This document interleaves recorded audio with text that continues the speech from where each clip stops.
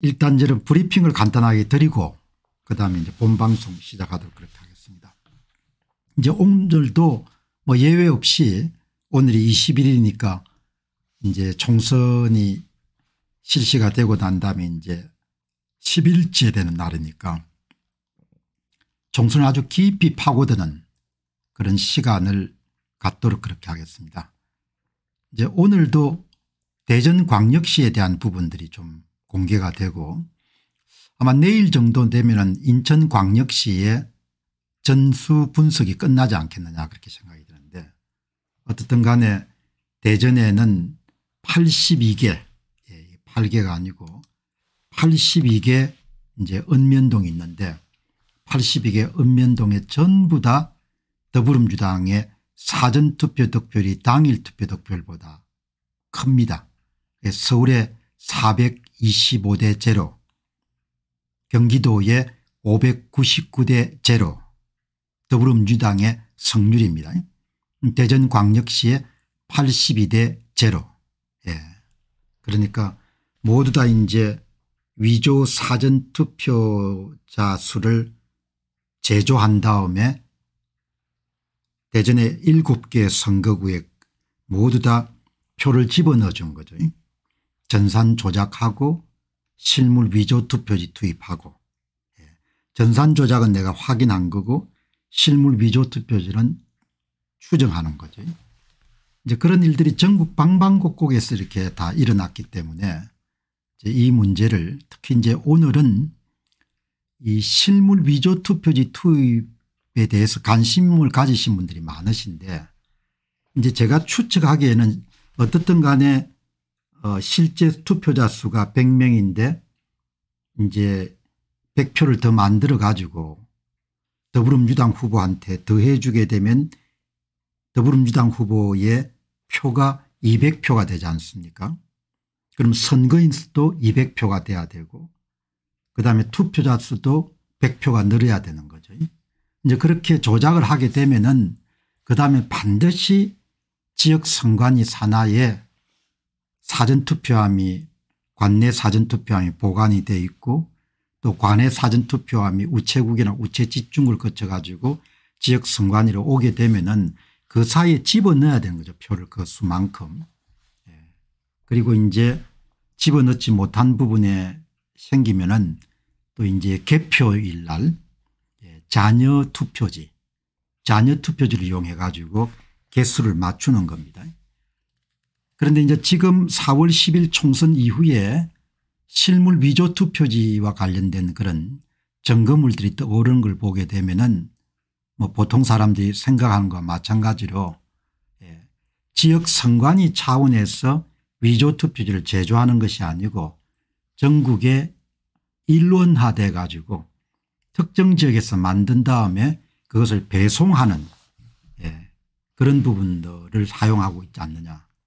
그러니까 뭐 예를 들면 대구 중남구에 발견된 그런 예, 인쇄소에서 만들어진 것으로 보이는 위에 이런 잉크가 묻은 것을 보게 되면은 하나는 어, 거제시 도장이 찍혀 있고 또 다른 하나는 뭐 어디 예, 뭐 어디 다른 지역에 투표관리관 도장이 인쇄되어 있는 걸 봐가지고 인쇄소에서 일괄해서 만들어 가지고 그러니까 선거 인 수가 확정이 되고 나면 사전투표가 실시되기 전에 한 3, 40일 전에 그때부터 다 준비가 이제 마무리되어 가고 있는 것 같다.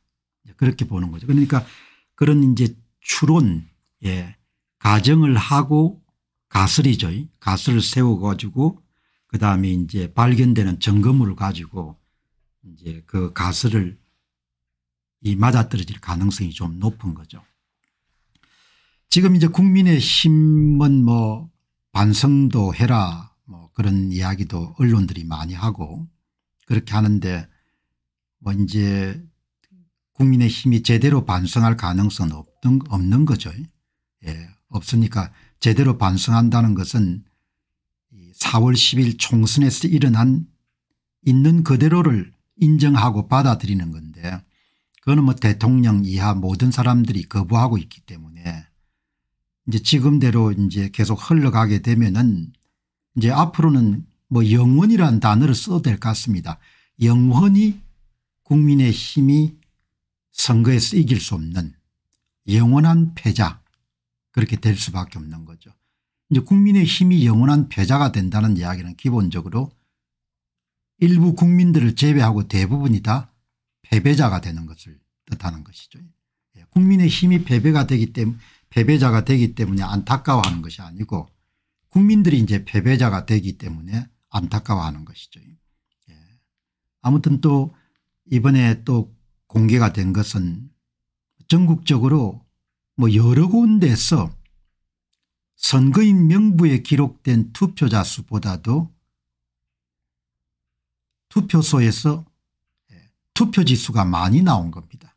그 예를 들면 선거인 수에 100명이 기록되어 있으면 당연히 투표자 수는 100명 이하가 돼야 되는 거죠. 그런데 지금 뭐 전국의 곳곳에서 예, 그런 선거인 명부보다 더 많은 표가 나온 겁니다. 더 많은 표를 던진 사람이 나온 겁니다. 그럼 뭐 이제 명백하게 기본적으로 이제 사전투표 득표수나 이런 것을 당일투표 득표수 마찬가지고 조작하는 과정에서 발생한 개수 불일치 숫자 불일치다 이렇게 볼 수가 있는 거죠. 그러니까 이제 변신자님 말씀처럼 정말 하나만한 선거가 돼버린 겁니다. 하나만한 선거가. 예, 그러니까 아무튼 간에 뭐 오늘 선플라워님이나 어떤 분이 바로 위에 계신 분이 참 미치겠습니다 이렇게 하는데 미치면 안 되고 자분하게 이제 이 문제를 좀 더 들여다볼 필요가 있는 거죠.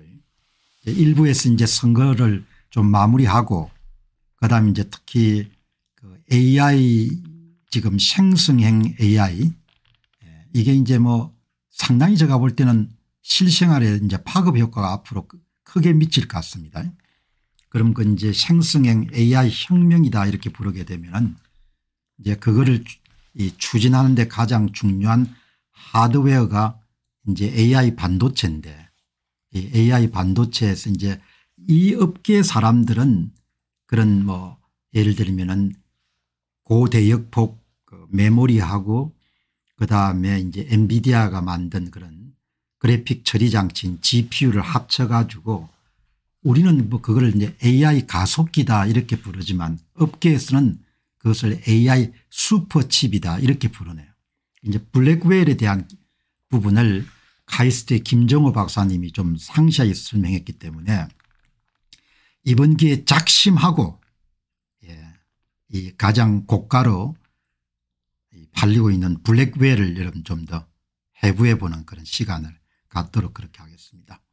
그리고 이제 점점 학습이라는 것이 이제 파고들게 되면은 더 많은 것을 알 수가 있기 때문에 점점 점점 점점 더 예, 흥미가 느끼지 않습니까 이제 오늘은 지금 이제 올해 3월부터 본격적으로 이제 SK 하이닉스가 엔비디아라는 그런 예, 회사에 납품하기 시작한 H 예, HB 하이 HBM 3E 예, 5세대 상품이죠.